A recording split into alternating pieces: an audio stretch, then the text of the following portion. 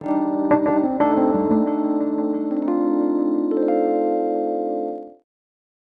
program in 2010 covered the challenges facing Africa's leadership, its challenges also in regard to infrastructure and governance. It further recognized that to compete effectively, the continent, the continent needed to, amongst other actions, ensure governments and leaders get on board, invest in, and drive the rebranding of the continent. Branding must be a key part of the planning, policy, and strategy of a country. This point was driven home last year by Simon, uh, Simon Anholt, who we had present at the summit.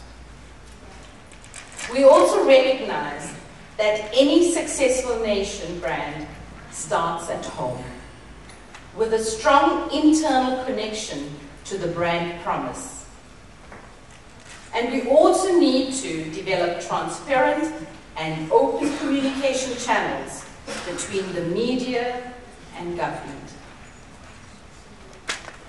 The continent's achievements thus far include strides being made by governments on the continent to collaborate and cooperate.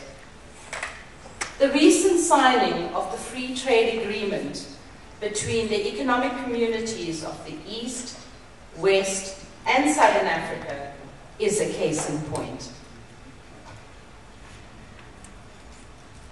African countries like South Africa and Kenya have initiated internal national pride and active citizenship programs.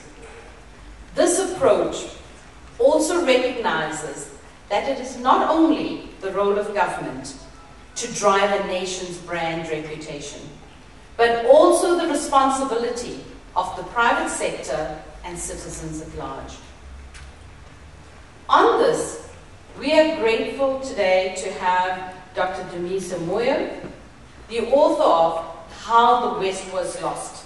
And for those of you that didn't see that very impressive lineup of branding intelligence out there, um, I'd urge you to, and I'm not being paid a commission by this lot, by the way, but I just think that it's really important that um, you know, we have this sort of information available to drive our own sense of decision making. She graces us yet again with her presence this year, and we're grateful that she makes the time to join us, and as she did last year. There are ongoing efforts by the and government to work together in nation building, contrary to the popular notion that there isn't communication between governments and the media. There is consistent work being done in this regard. Brand South Africa now has its strategic and operational accountability relocated to no less than the presidency of the country. This speaks to the need for African, uh, for nation brands to be located at the nexus of a country's planning, policy, strategy, and I dare say, monitoring and evaluation as well. Our panel on governance and sustainability will further interrogate this.